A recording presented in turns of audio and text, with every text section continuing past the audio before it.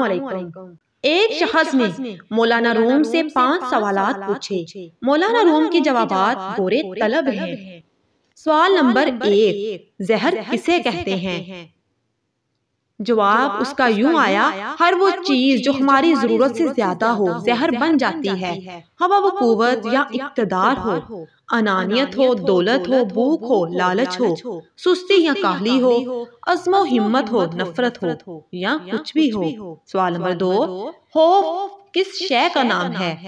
जवाब गैर मुतव सूरत हाल को कबूल न करने का नाम खौफ है। अगर हम गैर मुतव को कबूल कर लें तो वो एक महम जोई में तब्दील हो जाता है। नंबर तीन हसद किसे कहते हैं? जवाब इसका कुछ यूँ आया दूसरों में हैरो खूबी तस्लीम न करने का नाम हसद है।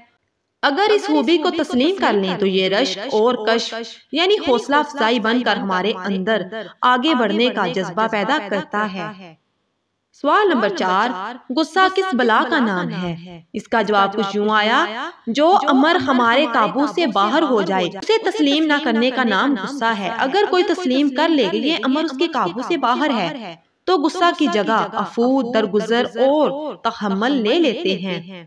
सवाल नंबर पाँच नफरत किसे कहते हैं? जवाब कुछ यूँ आया किसी शख्स को जैसा वो है तस्लीम न करने का नाम नफरत है। अगर हम गैर मशरूत तौर पर उसे तस्लीम कर लें तो ये मोहब्बत में तब्दील हो सकता है। मजीद ऐसी वीडियोस के लिए चैनल को लाजमी सब्सक्राइब करें।